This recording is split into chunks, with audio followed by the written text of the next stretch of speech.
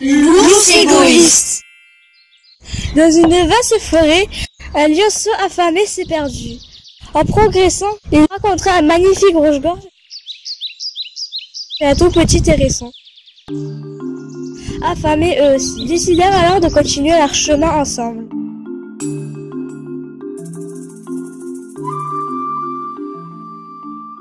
Plus tard, ils arrivèrent face à une gigantesque grotte.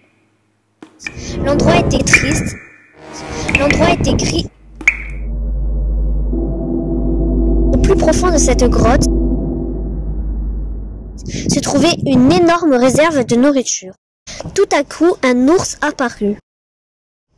Il leur dit alors, que faites-vous ici? Le lionceau, plus courageux que les autres, avança et lui dit Bonjour, monsieur l'ours, nous sommes affamés. Seriez-vous d'accord pour partager avec nous un peu de votre nourriture?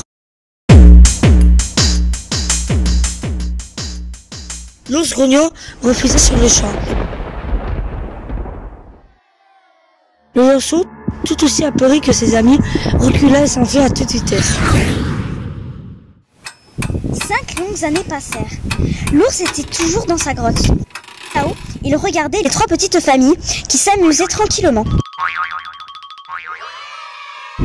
Tandis que lui, il était triste, sans amis au milieu de ces montagnes de nourriture.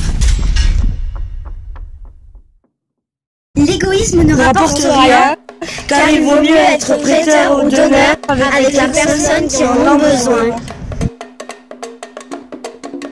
La fable de Anthony, Elsa, Morgane, Solène.